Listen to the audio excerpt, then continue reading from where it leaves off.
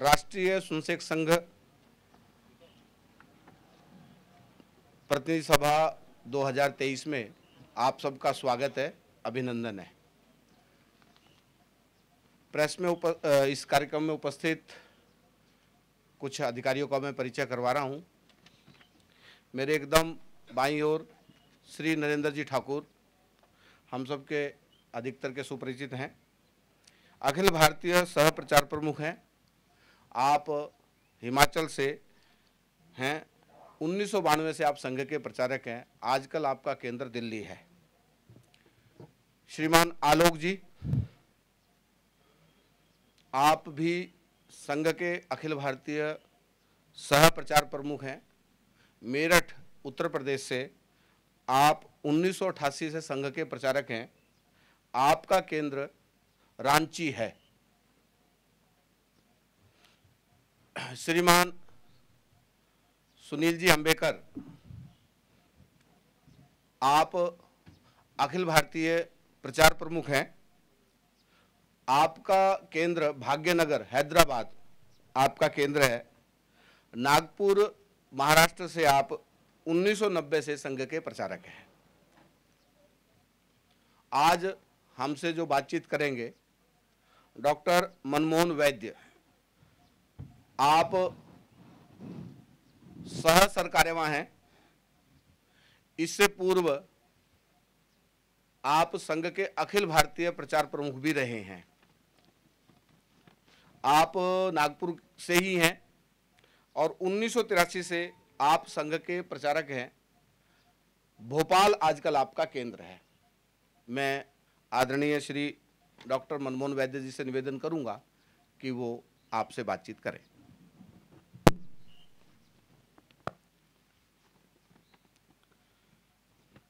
सेवा साधना ग्राम विकास केंद्र के दिव्य परिसर में आप सबका हार्दिक स्वागत है। संघ के स्वयंसेवकों ने श्री माधव जनसेवा न्यास के माध्यम से ये सेवा साधना ग्राम विकास केंद्र की शुरुआत की है। मुख्यतः इसमें ग्रामीण विकास के दृष्टि से किसानों को और युवकों को कौशल विकास खेती के लिए ट्रेनिंग दिया जाएगा। यहाँ पर अस्पताल, पुस्तकालय, विशाल खेल परिसर, कौशल विकास केंद्र, योग साधना केंद्र, जैविक व ज़ीरो बजट खेती, नशा मुक्ति, न्याय चौपाल जैसे प्रकल्प संचालित होंगे। तो अभी इसके आरंभ हुआ है धीरे धीरे कभी आप समय लेकर ये सारा परिसर भी देखने के लिए आइएगा। संघ की जो अखिल भारतीय प्रमुख बैठक होती है, अखिल भारतीय प्रतिनिधि सभा, जो साल में एक बार मार्च में होती है, इसके बारे में आपको वैसे दो दिन पहले जानकारी मिली है। तो सारे देश से संघ के प्रतिनिधि सक्रिय स्वयंसेवकों में से पहले प्रांत प्रतिनिधि और उनमें से अखिल भारतीय प्रतिनिधि चुने जाते हैं, हर तीन साल के लिए। ये प्रतिनिधि सरकारी का चुनाव भी करते हैं ये प्रतिनिधि सभा संघ की सर्वोच्च निर्णय करने वाला यूनिट है। यह बैठक तीन दिन चलेगी। वार्षिक अहवाल भी सरकारी वहाँ, यहाँ प्रस्तुत करते हैं। आप सबको उसकी कॉपी मिलेगी। एक साल भर का लेखा जोखा होता है। संघ की शाखा की स्ट्रेंथ, संघ कार्य की स्ट्रेंथ हम लोग चार पद्धति से मेजर करते हैं। एक, कितने स्थानों में संघ कार्य है? दैनिक शाखा चलते ऐसे कितने स्थान हैं? ये स्थानों में वृद्धि हो, यह प्रयास होता है। एक स्थान पर तीन, चार, पाँच, दस, बारह शाखाएँ भी हो सकती है। ऐसी शाखा, शाखाएँ कितनी हैं? जहाँ पर शाखा शुरू होने के लिए अभी तैयारी नहीं है, वहाँ सप्ताह में एक बार शाखा के माध्यम से लोग एकत्र आते हैं। शाखा आपने देखी होगी, लेकिन शाखा is a program to inculcate some collective qualities and to practice some qualities collectively सारा भारत का सारा समाज एक है, सब समान है, सब मेरे अपने हैं और मुझे समाज के लिए कुछ देना है। इसकी अनुभूति या संस्कार शाखा के माध्यम से होता है और बौद्धिक स्तर पर इसको जानने के बाद भी इसका नियमित अभ्यास भी आवश्यक है। इसलिए दैनंदिन शाखा में जाने का एक आग्रह होता है। ऐसे साप्ताहिक ऐसे सप्ताह में एक बार एकत्र आने वाले उनको साप्ताहिक मिलन केंद्र कहते हैं। और जहाँ पर इसकी भी संभावना नहीं है एक शुरुआत करनी है। कम से कम महीने में एक बार स्वयं स्वयंसेवक कार्यकर्ता गाँव में जाकर वहाँ के लोग, लो, लोगों को इकट्ठा करते कुछ सामाजिक विषयों की चर्चा करते हैं। एक राष्ट्रीय सामाजिक विषय तो ऐसे एक शाखा स्थान शाखाएँ साप्ताहिक मिलन और हर महीने एक बार मिलने वाले को संघ मंडली कहते हैं। अभी वर्तमान जो स्थिति है, ऐसी है कि ऐसे forty two thousand six hundred thirteen बयालीस हज़ार छः सौ तेरह स्थानों में दैनिक शाखाएँ चल रही है। इसमें शाखाओं की संख्या sixty eight thousand six fifty one है। साप्ताहिक मिलन की संख्या twenty six thousand eight seventy seven है। जिनको संघ मंडली कहती है, उनकी संख्या ten thousand four hundred and twelve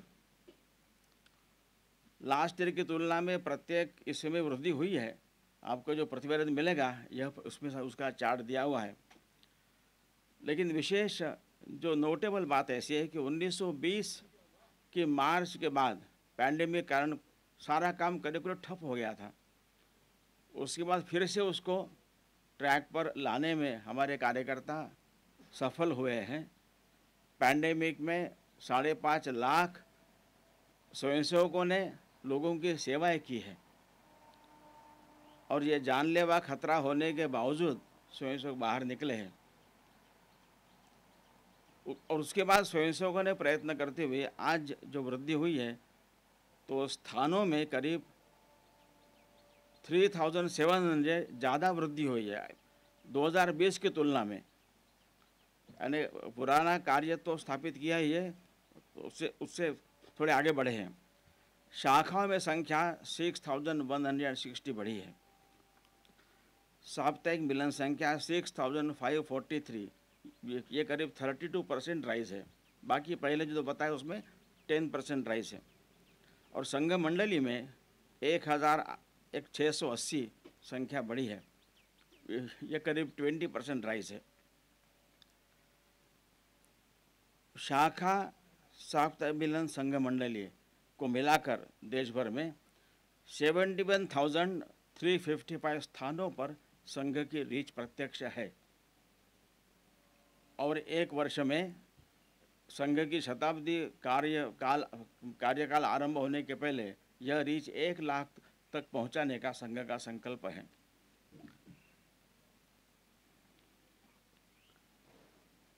संघ कार्यकर्ताओं के प्रशिक्षण के वर्ग होते हैं। एक प्राथमिक शिक्षा वर्ग होता है सात दिन छुट्टी लेकर मोबाइल वहाँ जमा करते हुए पूर्ण साधना में समय लगाना और तेरह साल के ऊपर कैसे जो कार्यकर्ता स्वयं अपने खर्चे से वहाँ पर जा, जाते हैं। लास्ट ईयर ऐसे प्राथमिक शिक्षा वर्ग में जिन्होंने वर्ग अटेंड किया, इस संख्या एक लाख इक्कीस हज़ार एक सौ सैंतीस है। अभी संघ शिक्षा वर्ग जो ट्वेंटी डेज़ ऐसे कैंप्स होते हैं first year second year third year पूरे देश भर में साधारणतः पंद्रह अप्रैल से आरंभ होंगे, जून अंत तक चलते हैं। इस साल करीब 109 ऐसे वर्ग होंगे 20 डेज़ के। जो लोग अपने काम कामकाज से, नौकरी से, काम धंधे से छुट्टी लेकर, अपने खर्चे से वहाँ पहुँच कर वहाँ रहने का और अपने खाने का शुल्क देकर रहते हैं, शिक्षण प्राप्त करते हैं।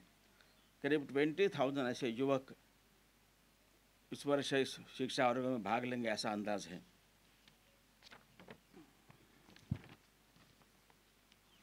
जो करीब sixty eight thousand six fifty one शाखाएँ देश भर में चल रही है। इन शाखाओं को भी तीन कैटेगरीज है। एक जिसमें केवल विद्यार्थी आते हैं। ऐसी विद्यार्थियों की शाखा सिक्सटी परसेंट है। चालीस साल के ऊपर आयु के प्रौढ़ स्वयंसेवक शाखा है टेन परसेंट है।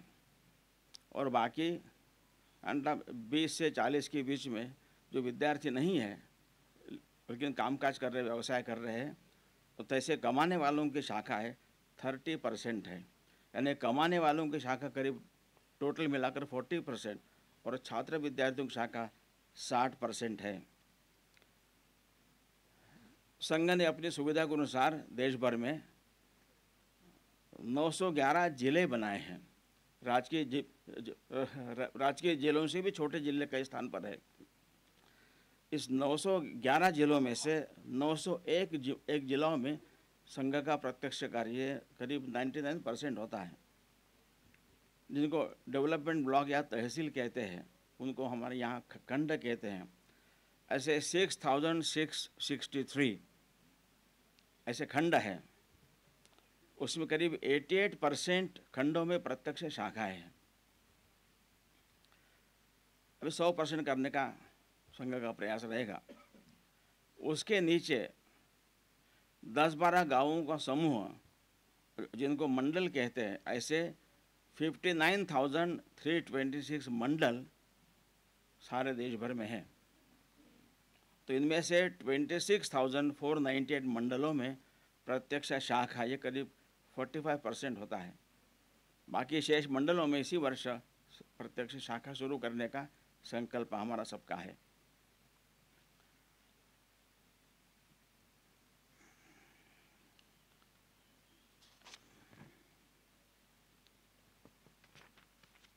यह जो प्रतिवेदन आपको मिलेगा इसमें संघ शाखा विस्तार के लिए, स्वयंसेवकों के प्रशिक्षण के लिए और समाज के लोगों से मिलने के लिए क्या क्या काम हुए, उसके सारी जानकारी है। तो ये शाखा विस्तार करने वाले जो स्वयंसेवक होते हैं अपने रोजी रोटी कामकाज में से समय निकाल कर प्रवास करते हैं, नए स्थान पर जाते हैं। यानी किस प्रकार के लोग काम करने वाले होते हैं तो एक बार पैंडेमिक के पहले मैं विजयवाड़ा स्टेशन गया था, वहाँ से मुझे चेन्नई जाना था। तो प्लेटफॉर्म नंबर डिस्प्ले नहीं हुआ था इसलिए मैं ब्रिज चढ़कर ऊपर खड़ा रहा और स्थानिक लोकल कार्यकर्ता प्लेटफॉर्म टिकट खरीदने के लिए पूछताछ करने गया। वो जहाँ आएगा, जहाँ बताएगा, वहाँ वहाँ मैं ब्रिज उतरूँगा। इतने में कूली ने मेरे लिए वहाँ पर कुर्सी ला कर दी। मैं बैठा और उसने अपना खुद का परिचय दिया कि विजयवाड़ा महानगर में एक नगर का, वो नगर कार्यवाह है। संघ का पदाधिकारी है। लेकिन मैंने पूछा कि आपने मुझे कैसे पहचाना? उसका उत्तर था कि अभी इसी वर्ष मैंने नागपुर का तृतीय वर्ष वर्ग किया है। यानी कुल पच्चीस दिन छुट्टी लेकर नागपुर के वर्ग में जाकर आया है। वहाँ उन्होंने कहा कि मैंने आपका बौद्धिक सुना था और और आपने हमारी एक बैठक ली थी। यानी सब प्रकार के स्तर के कार्यकर्ता अपने कामकाज में समय निकाल कर जो जो संघ कार्य विस्तार के लिए काम करते हैं, उसके बारे में काफ़ी जानकारी यहाँ पर है। संघ का शताब्दी वर्ष आरंभ होने से पहले संघ कार्य को सभी मंडलों तक पहुँचाने की दृष्टि से और कार्य के दृढ़ीकरण के दृष्टि से एक शताब्दी विस्तारक लोग निकले अपने कामकाज में से, पढ़ाई में से दो साल समय देकर लोग काम करें। तो ऐसे अब तक अभी तेरह सौ विस्तारक निकले हैं और करीब पंद्रह सौ विस्तारक और निकलने की संभावना है।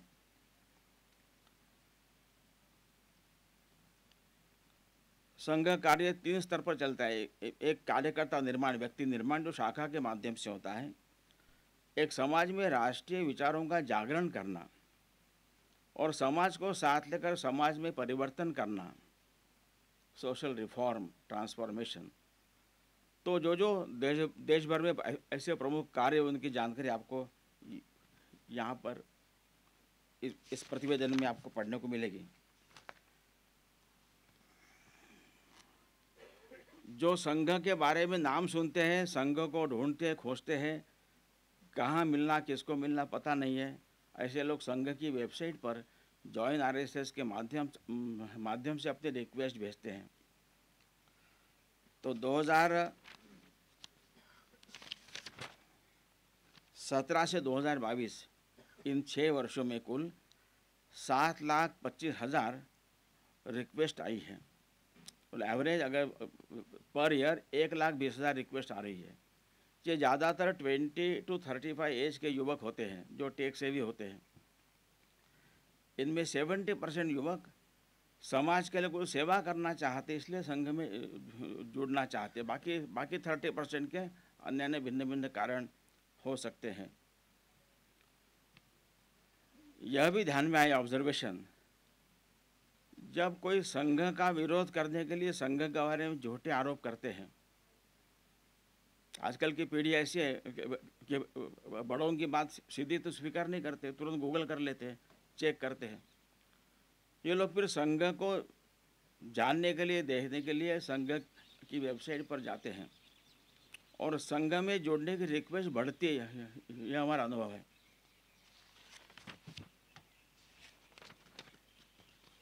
अब ये वैसे प्रेस ब्रीफिंग है, इसलिए संघ को लेकर बाकी सारे जो प्रश्न आपके मन में होंगे, वो आप चौदह तारीख को माननीय सरकारी वहाँ प्रेस कॉन्फ्रेंस करने वाले हैं। उनके लिए आप सुरक्षित रखिए। इस बैठक में अभी एक प्रस्ताव पारित होगा। हम स्वाधीनता का अमृत महोत्सव तो कर रहे हैं, परंतु स्वाधीनता, स्वदेशी, स्वतंत्र, स्वावलंबन में जो स्व है तो ये भारत के स्व के प्रकाश में भारत के विकास की नीतियाँ बने, इस भारत को स्व के स्व के प्रकाश में आगे बढ़ने के लिए समाज का इनिशिएटिव बढ़े, समाज का सहभाग बढ़े। तो ये स्व क्या है उस दृष्टि से, समाज ने क्या करना चाहिए इसके बारे में आह्वान करने वाला एक प्रस्ताव यहाँ पर पारित होगा। उसके साथ साथ भगवान महावीर जी के महापरिनिर्वाण के 2550 वर्ष पूर्ण हो रहे हैं। तो उस निमित्त तो उनके जीवन संदेश और आज हमको उसमें से क्या सीख लेनी है, इसको लेकर एक स्टेटमेंट यहाँ पर जारी होगा। स्वामी दयानंद सरस्वती जिन्होंने आर्य समाज की स्थापना की थी तो उनके जन्म को 200 वर्ष पूर्ण हो रहे हैं। उस निमित्त तो उनका कंट्रीब्यूशन और उनका मैसेज इसको लेकर और शिवाजी महाराज के राज्याभिषेक को अभी इस वर्ष 350 वर्ष पूर्ण हो रहे हैं। तो शिवाजी का राज्याभिषेक होना उस समय की कितनी महत्वपूर्ण घटना उसको लेकर भी ऐसे तीन वक्तव्य यहाँ पर चर्चा होकर पारित होंगे। जैसे पारित होंगे आपको उसकी जानकारी दी जाएगी। बैठक के बारे में कुछ अगर जिज्ञासा हो तो आप पूछ सकते हैं। बाकी अन्य महत्व की जिज्ञासा आप चौदह के लिए रखिए। प्रथम वर्ग द्वितीय वर्ग और तृतीय वर्ग किस उम्र में किया जाता है और कितने दिन का होता है? प्रथम वर्ग होता है पंद्रह से चालीस आयु के लिए बीस दिन का होता है।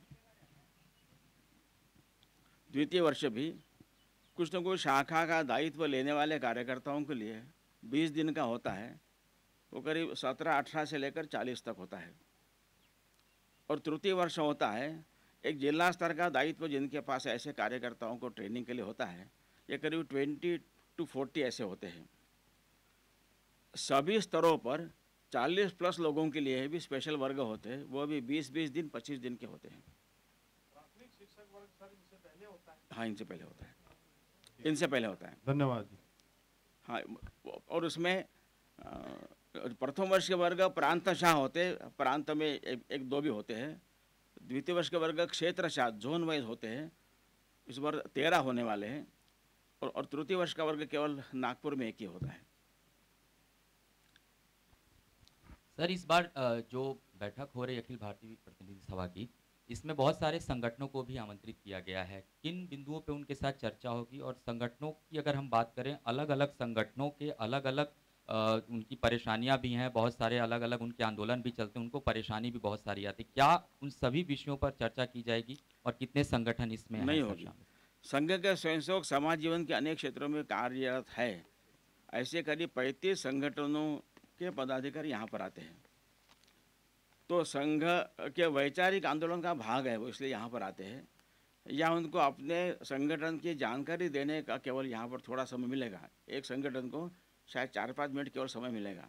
बाकी क्या चर्चा हो रही है वगैरह उसमें वो कंट्रीब्यूट कर सकते हैं चर्चा सुन सकते हैं उसके लिए आते हैं। सर ग्राम विकास केंद्र में युवाओं के लिए कोई रोज़गार के प्रति कोई बताना होगा? कि किस उम्र में किस कितनी उसने शिक्षा ग्रहण की है और उसको आगे क्या करना चाहिए? किसानों के लिए क्या करना चाहिए? इसके लिए कोई हमारे से कल भी लोगों ने प्रश्न पूछा था तो हमने कहा भी आपसे पूछ के बताएँगे। सभी के लोग अब सारे देश में नौकरी मांगने वाले नहीं हैं। तो नौकरी देने वाला एंटरप्रेन्योरशिप स्वदेशी सहकारिता, इन इन तीन मुद्दों पर स्वरोजगार का एक अभियान चल पड़ा है। इसकी संख्या बढ़ रही है। तो पढ़ाई पूर्ण होने बाकी किसने कितना पढ़ना, वो स्वयं व्यक्ति तय करेगा। अपनी पढ़ाई पढ़ाई पूर्ण करने के बाद कहीं जॉब मांगने के बदले मैं स्वयं कुछ उद्योग शुरू करूँगा। तो ऐसे लोगों के लिए प्रोत्साहन देना ट्रेनिंग देना सपोर्ट करना। यह काम स्थान स्थान स्तर पर चल रहा है। विशेषतः स्वदेशी जागरण मंच के माध्यम से उनके साथ अनेक संगठन जुड़े हैं। यह काम खूब अच्छा अच्छा कर रहे हैं। चलिए ठीक है। आप सबका धन्यवाद। अभी सात दिन के बाद हाँ। छोटा सा सवाल। लास्ट प्रश्न। ये आपने सर आंकड़े बहुत सारे बताए हैं। क्या वो रिटर्न में मिल जाएगा हमें? हाँ मिलेगा? शाखा वाला मिलेगा कंपैरिजन नहीं मिलेगा तो, तो, तो प्रचार विभाग आपको दे देगा आप मांगेंगे जैसे तो। आपने बताया कि 20 के बाद इतने बढ़ गए। हाँ वो वो देंगे तो हाँ? केरल में है भी तो केरल में। तो सात दिन के बाद आने वाले हिंदू नववर्ष के निमित्त आप सबको हार्दिक बधाई हार्दिक शुभेच्छा। छोड़ दो कंपेयर क्या कर रहे हैं? दौड़ रहा है अच्छा स्पोर्ट्समैन लोग हैं बहुत सारे। सर एक सवाल सर। हाँ। शाखा में महिलाओं को जोड़ने के लिए क्या कुछ किया जा रहा है?